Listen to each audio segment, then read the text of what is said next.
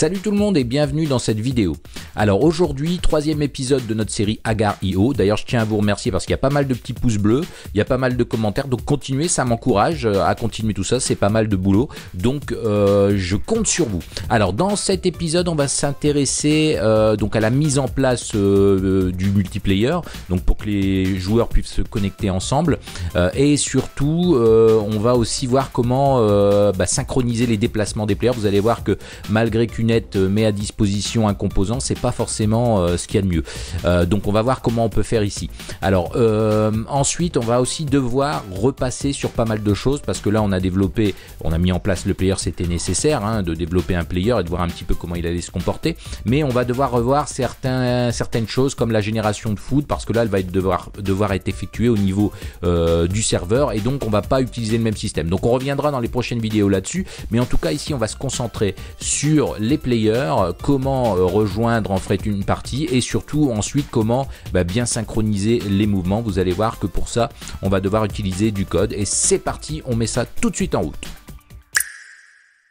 Alors on en était resté là avec le développement, donc on a un player qui est totalement fonctionnel. On a ici des pastilles euh, qui sont mangées par le player, le player grossit et si j'appuie sur W je pouvais le splitter. D'ailleurs je peux même remanger euh, mon split. Bon tout ça de toute façon va être ajusté dans un second temps.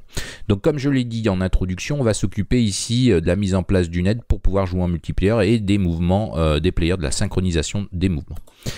Alors, la première chose qu'on va devoir faire, euh, c'est créer une, nouvelle scène. On a fait une game offline et on va l'enregistrer sous et on va l'appeler game online. Cette game online, on la charge évidemment, donc je suis bien dedans. Ce qu'on va faire, on va avoir besoin ici, euh, pour euh, spawner nos players, on va avoir besoin d'un préfab de player. Donc ce que je vais commencer par faire, c'est créer ici un préfab de mon player. Je le glisse tout simplement dans le dossier player et j'ai ici mon préfab. Donc ça, pas de souci. Maintenant, on va utiliser, euh, on va ajuster ici la scène pour qu'elle ait une partie networking. Donc on va créer ici un empty et on va le renommer Network Manager. Voilà. Et sur ce Network Manager, on va lui attribuer des composants, évidemment, euh, Network. Donc, on y va, Network, et le premier que je vais devoir lui mettre, bah, c'est le Network Manager. Donc ce Network Manager, ici, comme vous pouvez voir, vous avez pas mal d'options. Vous avez surtout ici une game offline une game online. Alors, Ici, comme on va devoir beaucoup lancer des, build, des euh, and run de notre jeu, on va devoir les tester, on va le tester en local, on va pas s'embêter avec la scène offline pour le moment. Et euh, ce sera plus simple d'aller mettre tout ce qui est connexion au niveau de la scène ici. Sinon, on va devoir lancer la première scène, à chaque fois switcher de scène, donc ça va être plus simple, on le fera euh, plutôt vers la fin, quand le jeu sera opérationnel. Donc on va devoir charger ici la scène, mais pour que cette scène soit accessible, d'ailleurs si j'y vais, on peut voir ici, euh, j'ai bien mes scènes, mais on peut voir qu'il ne le prend pas. Tout simplement parce qu'il faut qu'elle soit au niveau euh, du build, euh, qu'elle soit ici dans le scene in build. Donc on va faire un add open scene. J'ai ici ma scène maintenant qui est bien dans le scene manager et je vais aller choisir ma scène online et là on peut voir qu'il le prend, game online. Donc vous avez ensuite une partie network info. Alors je ne vais pas trop m'attarder là-dessus, mais on va y revenir. Euh, ici, on va développer notre jeu pour un local, c'est-à-dire que le serveur euh, va être local. Euh, et d'ailleurs, on peut voir que localhost est renseigné. Donc ça, c'est l'adresse du serveur et le port, vous avez ici 7777 qui sont les ports par défaut qu'Unity vous propose. Vous pouvez évidemment les modifier, vous avez pas mal d'options en dessous. On va pas trop s'intéresser à ça, en tout cas pas tout de suite parce que là on va mettre en place un serveur local, on va jouer sur la même machine, on va lancer plusieurs instances du jeu et on va jouer sur la même machine. Mais là c'est plus du réseau, c'est-à-dire que si vous voulez jouer en multiplayer euh, chez vous, bah, il faudra évidemment renseigner l'adresse euh, LAN enfin du, serveur au niveau du LAN. Et si vous jouez, euh, voulez joindre un serveur qui est hébergé chez quelqu'un d'autre, il faudra renseigner euh, l'adresse IP publique en fait de cette personne pour ensuite pouvoir accéder et faire une redirection du bon port. Donc euh, ça c'est une partie plutôt réseau, on l'abordera peut-être si ça vous intéresse. Mettez-moi en commentaire si vous voulez que je vous fasse une explication là-dessus un peu plus poussée, ce serait difficile de le faire en 5 minutes. Ensuite on a le spawn info. Alors le spawn info, c'est justement, euh, ici avoir auto create player, on va en fait dire à, à, net de lancer, enfin de créer lui-même le player euh, au début de, la connexion du, client, et donc euh, on va devoir instancier, il va instancier un préfab, donc il nous fallait un player préfab. Mais on peut voir que si maintenant je veux le mettre dessus, ce player, ça ne fonctionne non plus, non plus, pas non plus. Surtout parce que mon mari, il sait pas les porter, toujours obligation, allez, oh. Excusez-moi. Donc du coup, euh, bah, pourquoi? Tout simplement parce qu'il lui faudra ici ce qu'on appelle un Network Identity.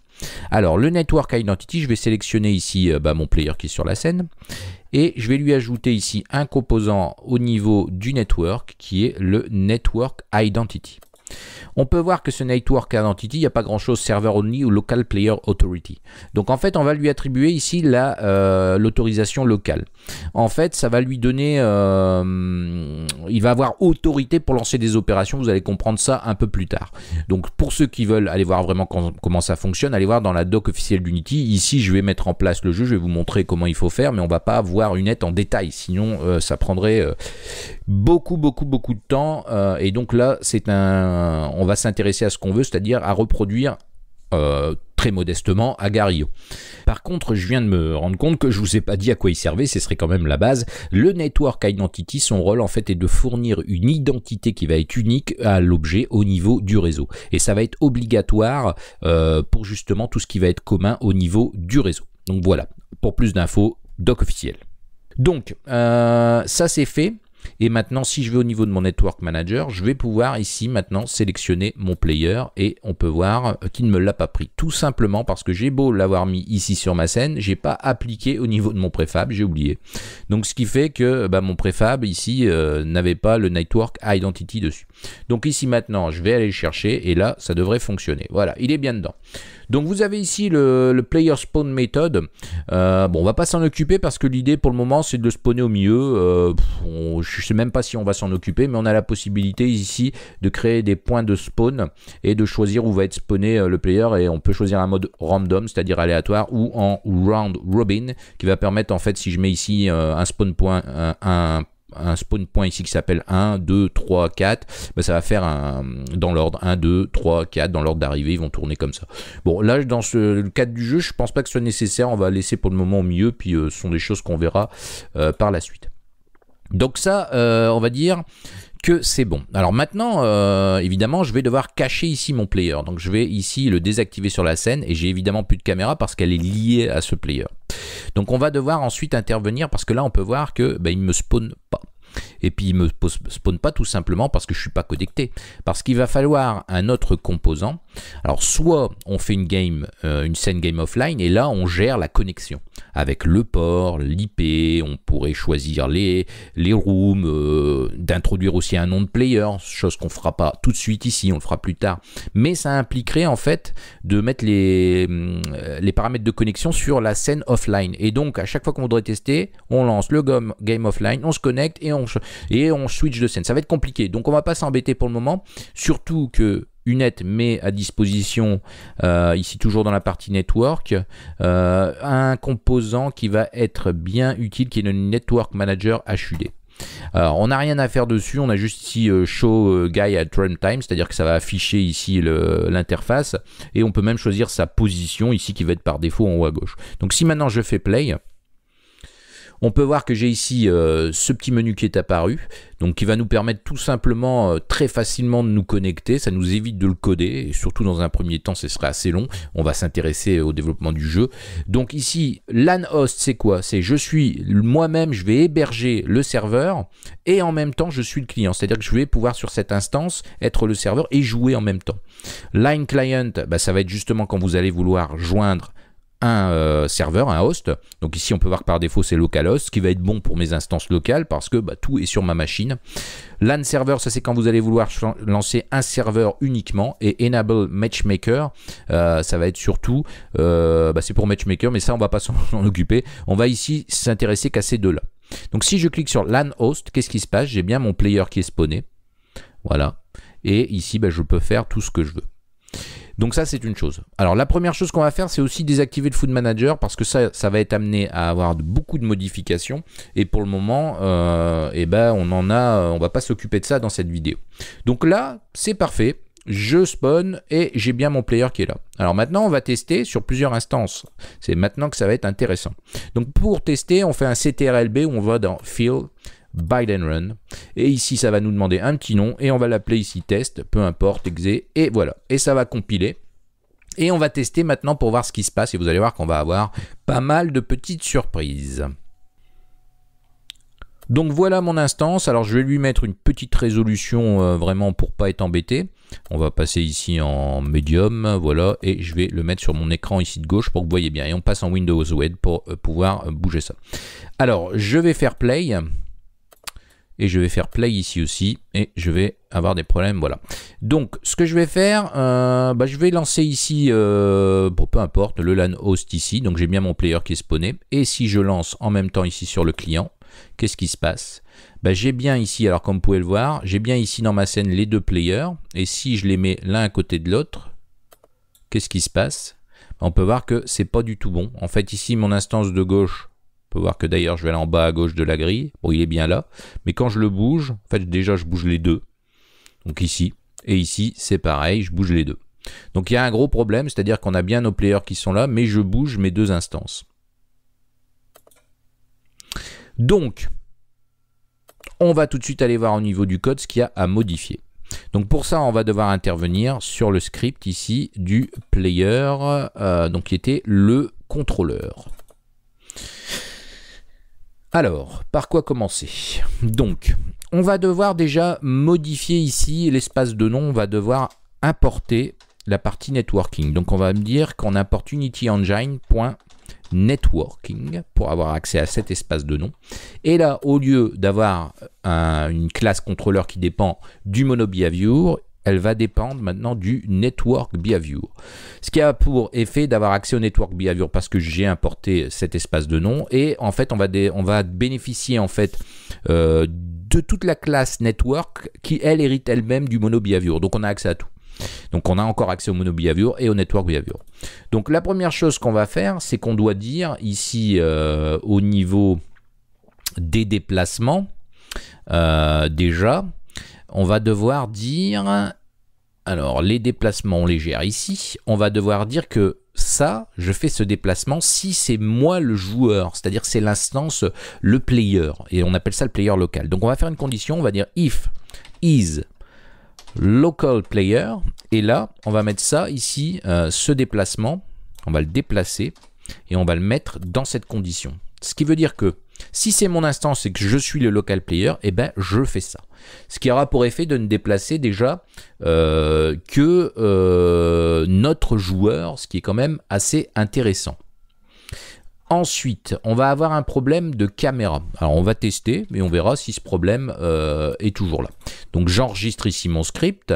Donc c'est un script, j'ai pas besoin de l'appliquer ici à mon préfab, il va se modifier tout seul. Et on refait ici un byte, donc CTRLB ça va compiler et on va pouvoir lancer. Alors ça va être une gymnastique, à chaque fois il va falloir faire des builds euh, et ça va être assez long. Donc euh, je lance ici cette instance, je lance ici cette instance, j'en fais ici le host pour gagner du temps et je connecte celle-là en client. Et là, qu'est-ce qui se passe? On peut voir que je déplace bien ici mon pion, il n'y a pas de souci. Sauf que si je prends mon autre instance, déjà il ne se déplace pas ici. Donc il y a un souci, on peut aller voir au niveau de la console, alors on n'a pas de message. Euh, et euh, bah, ça fonctionne pas. Tout simplement euh, parce qu'il leur faudra en fait synchroniser les mouvements et pour ça on va utiliser un composant Network Transform. On peut voir que en fait j'ai beau le bouger, regardez je, rentre dedans, il n'y a pas de souci, mais ça, ne fonctionne pas. Donc tout simplement parce qu'il faut synchroniser les positions au niveau du Prefab Player. Donc pour ça, je vais couper mon instance derrière. On va devoir ici activer notre préfab parce que je vais lui ajouter un nouveau composant ici qui va être le Network Transform qui est ici. Ce qui va permettre de synchroniser par exemple ici mon transform. Et euh, j'ai ici un network rate, donc qui est de 9 par défaut, et ici des paramètres qu'on va pouvoir modifier. Euh, par exemple ici l'interpolation du mouvement, je vais la mettre beaucoup plus petite, mais vous allez voir que ça va pas suffire. La rotation, j'en ai pas, donc c'est pas important. Donc ici, bah, j'ai un network transform sur mon player. J'applique ici à mon préfab et je le recache pour plus l'avoir là. Je refais un CTRLB. Et là, le problème qui se posait tout à l'heure, c'est aussi qu'on a un problème de caméra. Rappelez-vous, on va voir ça tout de suite. Mais on va déjà voir ce qui se passe ici. Si je fais un play, je lance le client ici. Alors, ah, autorisé, tout à l'heure, il m'a rien dit, c'est bizarre. Euh, et ici, line client. Voilà. Donc maintenant, qu'est-ce qui se passe? Ben, On peut voir que j'ai une grosse saccade déjà. Mais euh, j'ai bien ici, je vais aller poser ce player ici en haut, si j'y arrive.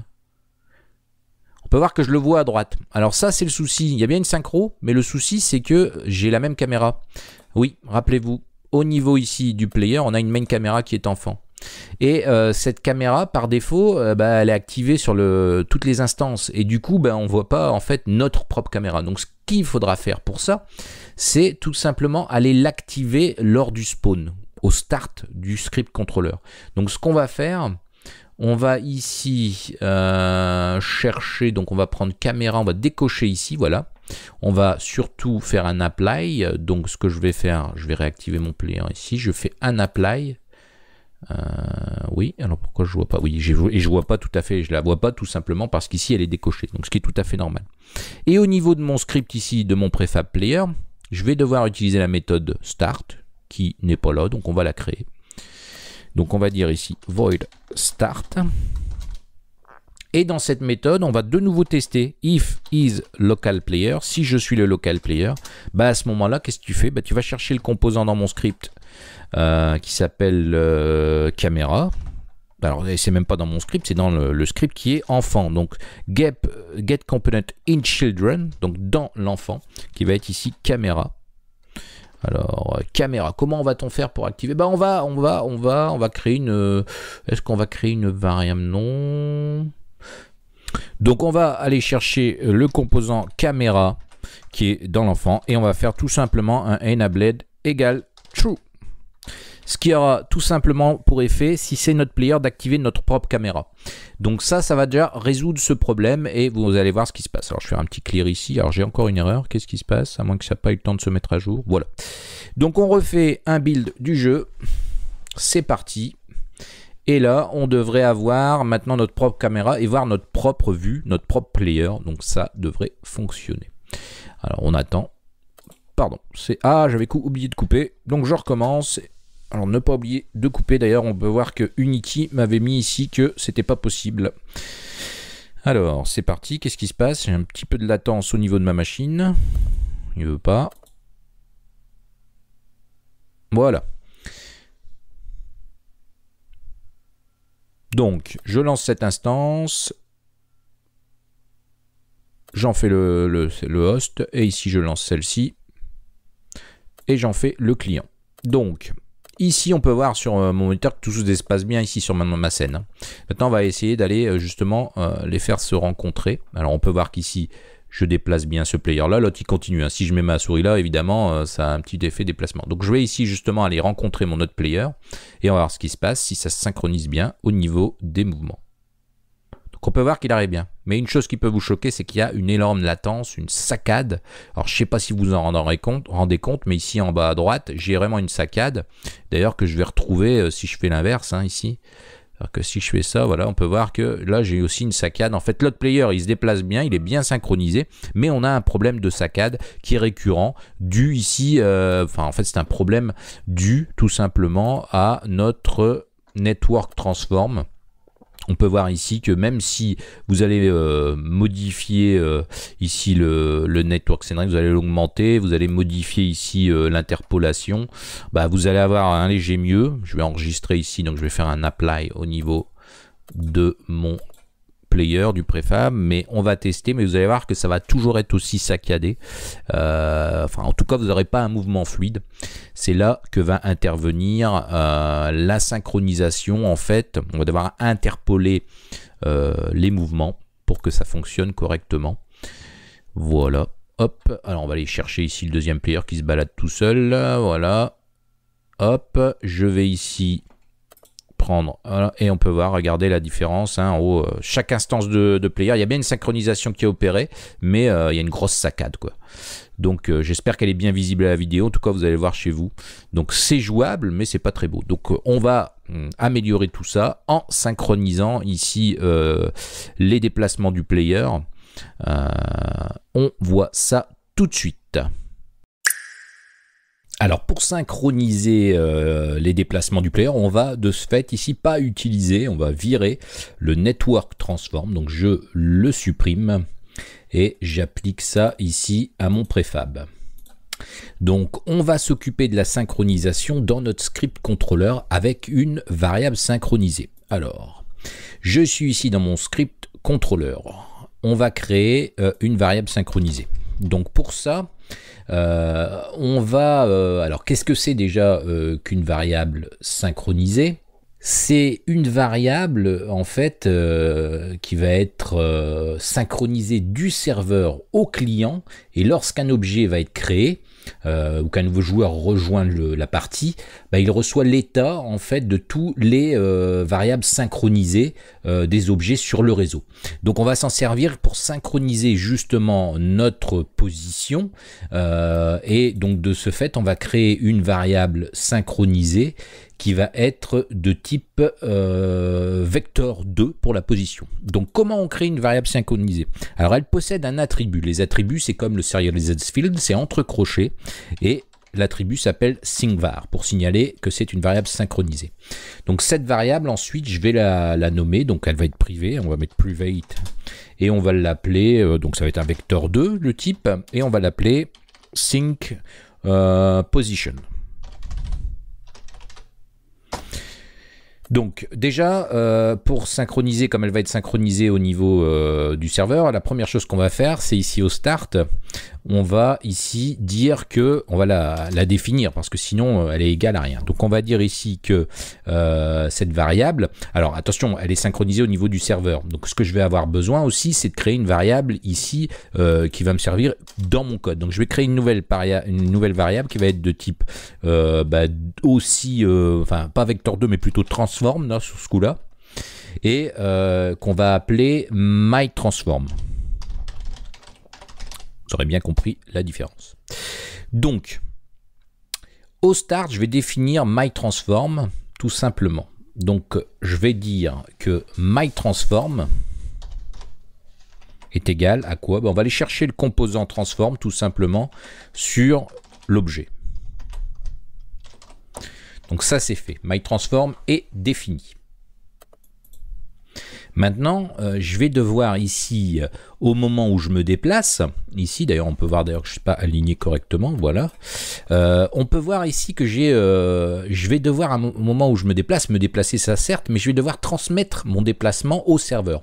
Pour ça je vais être obligé d'utiliser euh, une commande, parce que pour dialoguer avec le serveur, on doit envoyer une méthode en fait qui est sous forme de commande, c'est-à-dire que cette méthode en fait elle va être exécutée par le serveur, mais pour l'appeler d'un client, on va devoir tout simplement utiliser l'attribut commande. Donc on va aller en bas, vous allez comprendre un peu mieux.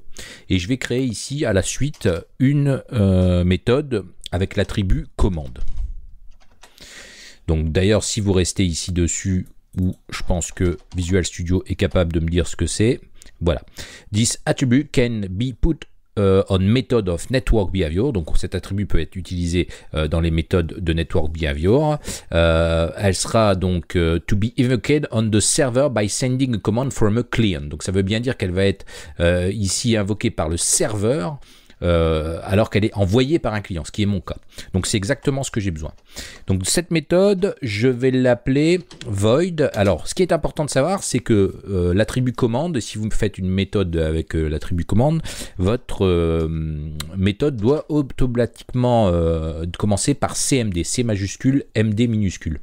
C'est très important, sinon vous risquez d'avoir une erreur. Donc je vais l'appeler send my position et on va faire simple, tout serveur.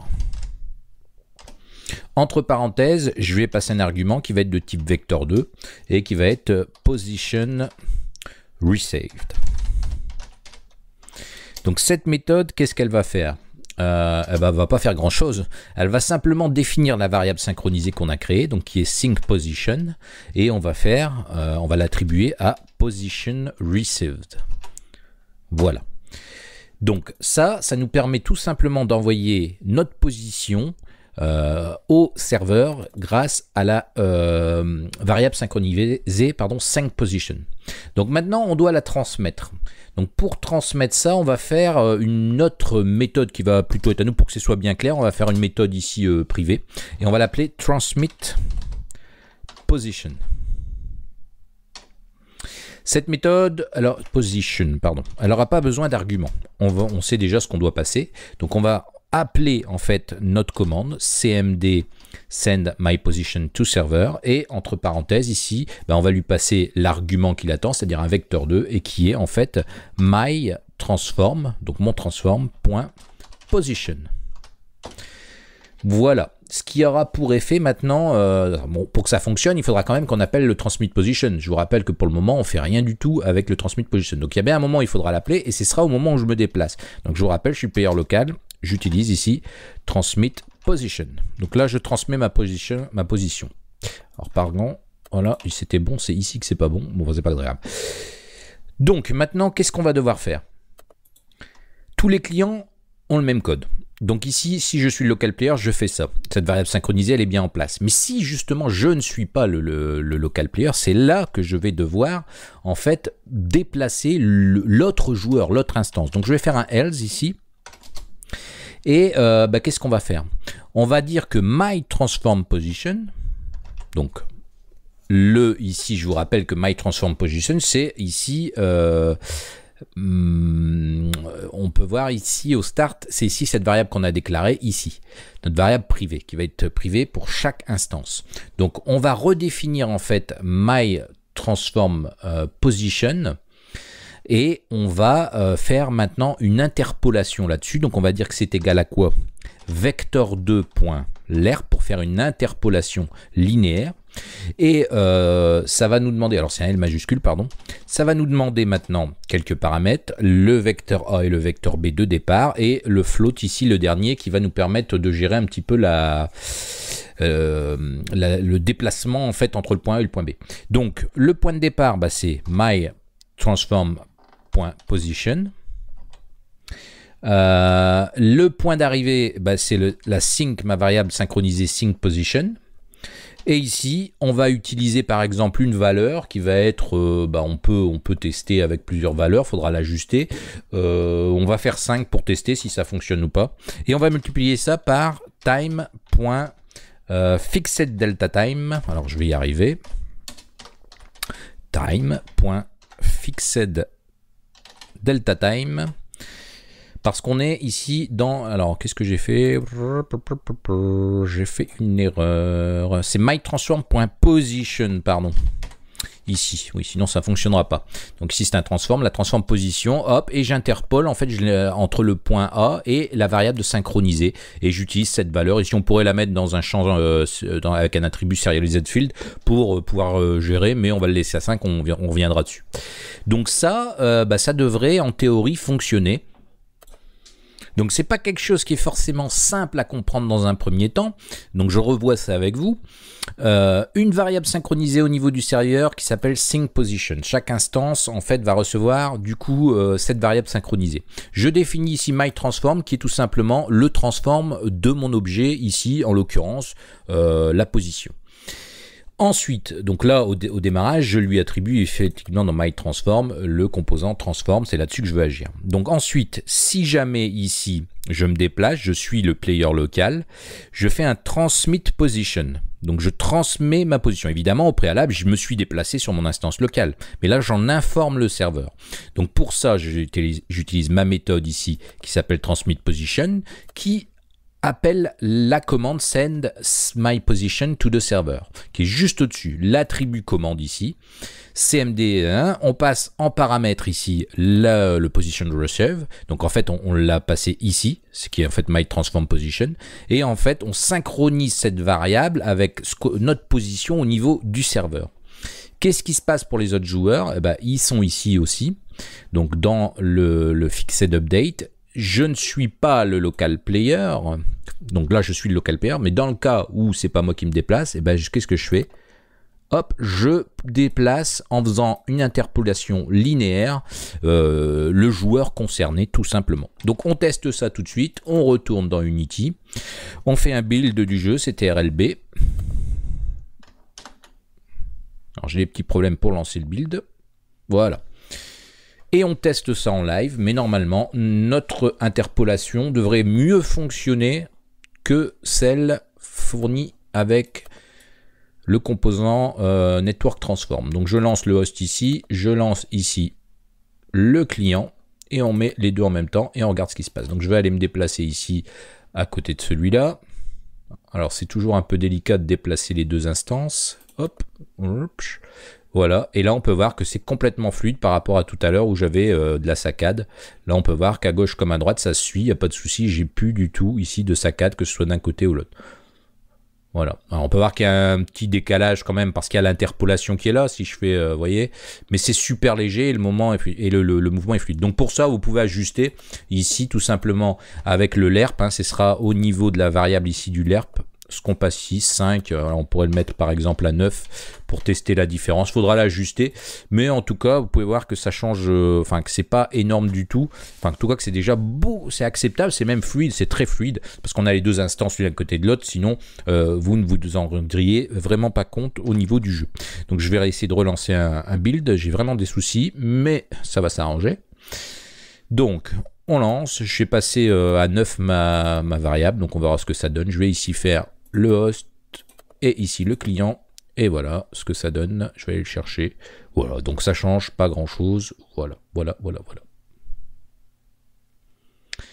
Donc ça, c'est parfait, ça fonctionne.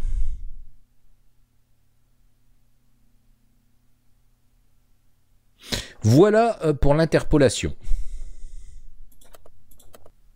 Alors, on pourrait aller un peu plus loin ici dans le script parce qu'au niveau optimisation surtout, euh, mais je ne pense pas que ce soit nécessaire. On va pas le mettre en place euh, parce que ce qui se passe, c'est qu'ici je transmets ma position tout le temps. Bon, dans le cadre de ce jeu ici, euh, mon player se déplace en permanence parce qu'il ne reste pas sur place. Donc l'idée ici, ce serait pas très bon si mon, personnage reste par exemple bloqué là. Bah là, euh, bon, je bouge parce que, vous voyez, je bouge quand même de toute façon un petit peu. Mais si je reste dans le coin ici, ce qui n'est pas conseillé quand vous jouez à Gario, sinon vous vous faites manger. Mais là, euh, je transmets ma position en permanence sur le réseau, je balance des données alors que c'est pas nécessaire. Donc on pourrait tester et optimiser ça tout simplement en disant, bah, en vérifiant en fait que la position n'est pas la même. Et sinon, on l'envoie, sinon, on l'envoie pas. Donc là, je balance des, des, commandes au serveur alors que euh, je me déplace pas. Mais c'est la seule je dirais c'est le seul moment où on va pas se déplacer parce que dans le principe d'Agario, euh, le personnage se déplace en permanence. Donc on va pas le mettre en place, mais il faut savoir euh, qu'en termes d'optimisation, ça pourrait être fait si vous avez un jeu plutôt avec un player qui, qui est qui est statique par moment, qui se déplace par exemple avec les flèches euh, et qui reste toujours à la même place, bah, vous balancez euh, des positions, des positions au serveur, c'est pas nécessaire. Donc ça, euh, faut le savoir, c'est quelque chose qu'on pourrait mettre en place, mais qu'on va pas mettre en place ici dans ce jeu. Voilà. Donc bah, cette vidéo touche à sa fin. Donc premièrement, je tenais à vous remercier parce qu'on est bientôt 4000, donc c'est super, c'est assez rapide, ça évolue. donc n'hésitez pas à partager la chaîne, à en faire part aux gens pour qu'ils s'abonnent et euh, surtout, si cette vidéo vous plaît, n'hésitez pas à mettre un petit pouce bleu. Euh, donc, on va continuer la prochaine fois. On va s'arrêter là pour aujourd'hui parce qu'on a déjà vu pas mal de choses. On a mis en place le système UNET euh, pour se connecter ensemble. On a aussi, on s'est occupé de la synchronisation des players et on va laisser ça comme ça. Pour le moment, c'est déjà pas mal. On va dans la prochaine vidéo s'occuper du Food Manager et des Food parce que là, si vous le réactivez, vous allez voir que ça va pas fonctionner. Donc ça, ça devrait devra être vu et corrigé et euh, même orienté un peu différemment, mais je vous propose de voir ça dans la prochaine vidéo.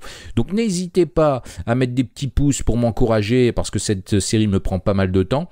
Euh, donc n'hésitez pas, allez voir aussi sur le site, vous allez récupérer les scripts, notamment celui d'aujourd'hui. Au fur et à mesure des épisodes, je mets les modifications euh, en ligne et disponibles, donc il suffit d'aller récupérer ça au niveau de l'article du site avec tous les épisodes qui sont répertoriés. Vous avez à chaque fois tout, tout ce qui va bien. Voilà, et il me reste plus qu'à vous dire euh, à bientôt pour une prochaine vidéo. Euh, voilà, bye bye